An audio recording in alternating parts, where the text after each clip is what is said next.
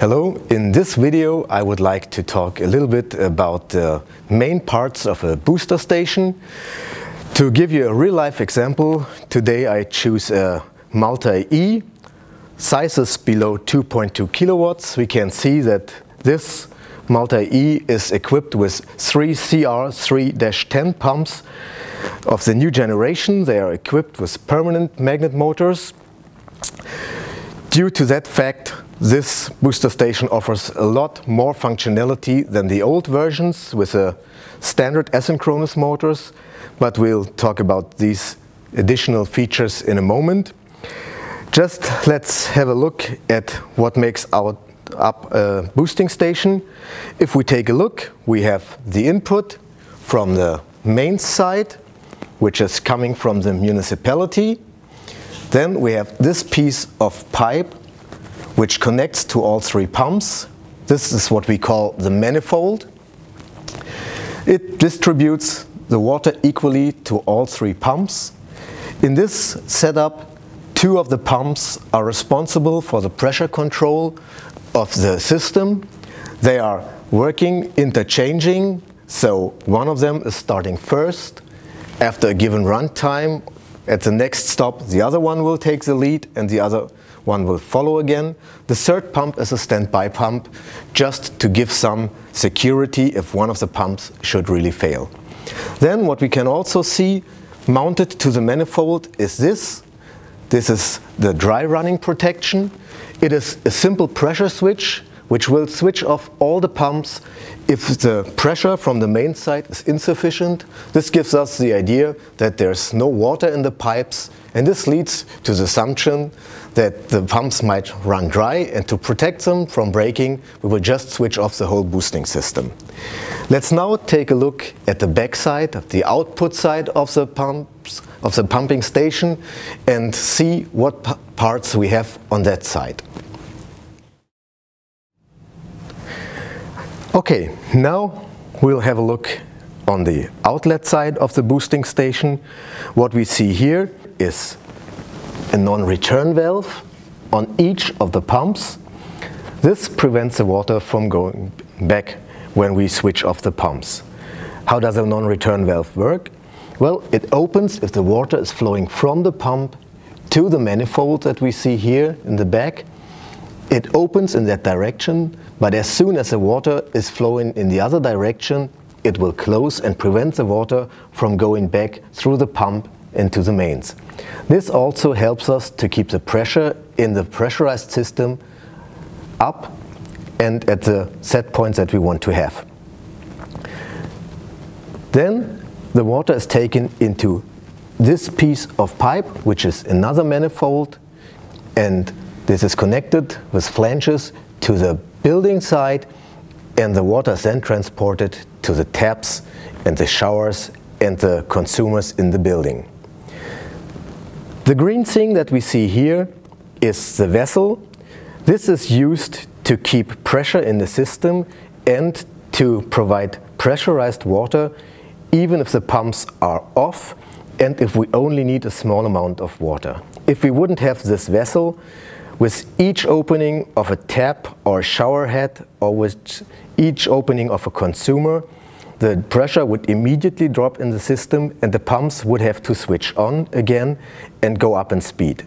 This could lead to a very fast on and off switching of the pumps, which is not very healthy for the pumps. So we have a given amount of water, a water volume in this vessel, it is pressurized, and if the pumps are off and there's a need for water, we will first empty this vessel and if this is empty and the pressure is dropping down in the system, then the pumps will start and go up in speed. What we also see here is two pressure sensors. These are used to transmit the actual pressure that we have to the pumps and the pumps will compare the measured pressure with the set point that we have and depending on the difference the pumps will go up in speed if the measured pressure is below the set point or will go down in speed if the measured pressure is below the set point.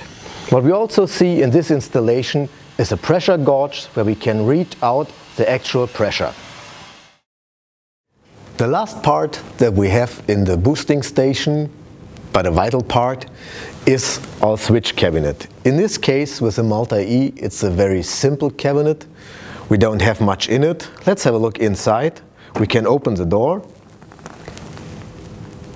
And what we have is simply a main switch that we can see here.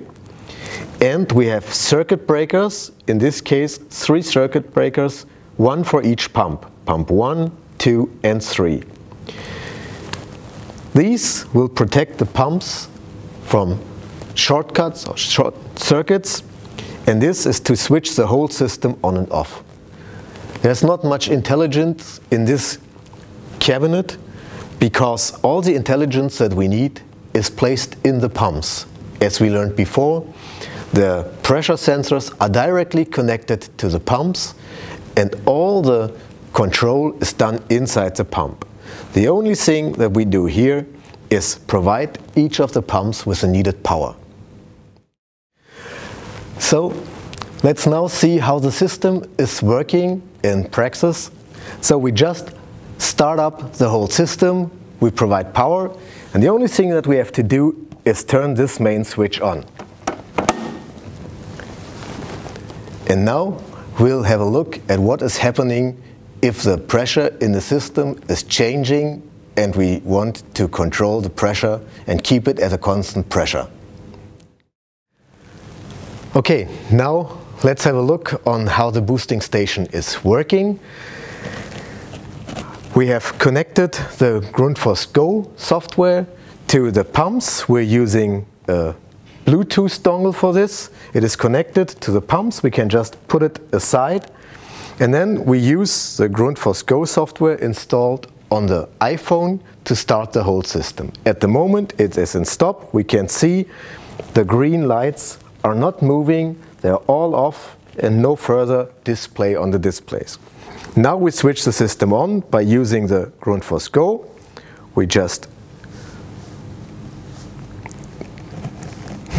select the operating mode and switch to normal operation and immediately the pumps start working. We can now see the green lights of the pumps, of this one pump is turning and we see that the pump is running at a given speed. If we now take a look at this pressure gauge and also take a look at the software, at the Grundfos Go, we can see that the set point is set to 28.3 meters of head and the actual value can be seen up here is also 28.3 meters of head. The speed which the one pump is running at is 2340 RPM. Now let's increase the, the water flow by opening a valve and simulating that more people are in need of water.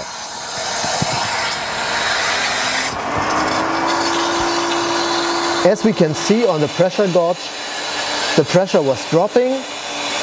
The actual value is now 28.1. It is increasing as the pump is speeding up. The pump will reduce the speed again and try to control the pressure to the set point of 28.3 meters.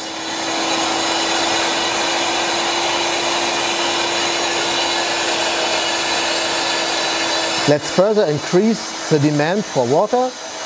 Now the pressure gauge shows that the pressure is dropping again. The pumps are speeding up and trying to supply the needed amount of water and to keep the pressure up.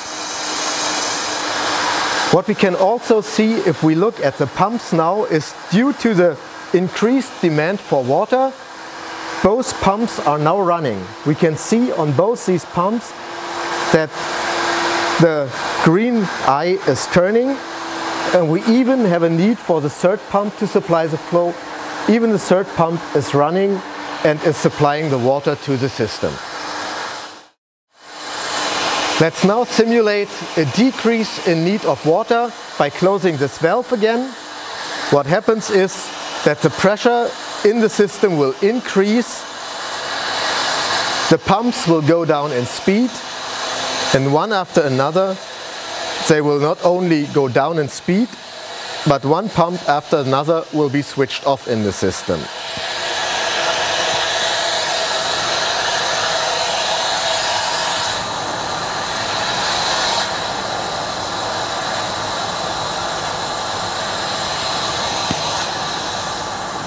And we can do this until the system is fully closed, which means there's no demand in the system, no consumers opened,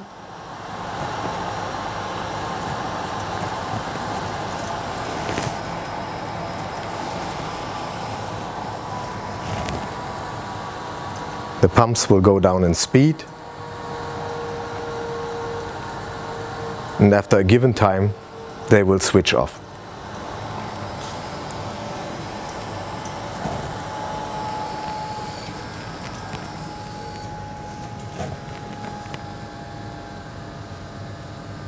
Now we can see two of the pumps have already stopped and only one pump is still operating.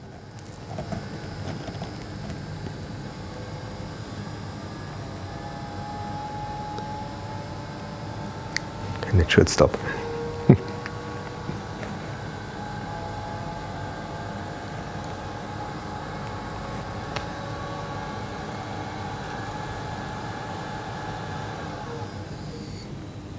And now even the last pump has stopped.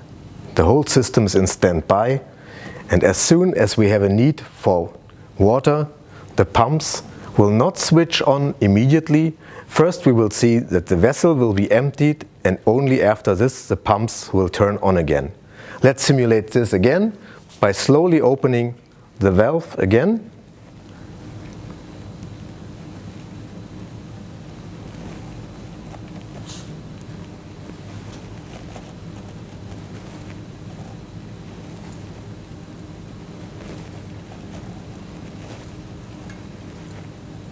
Still no flow. Now it starts flowing. And only after a delay, the first pump switches on.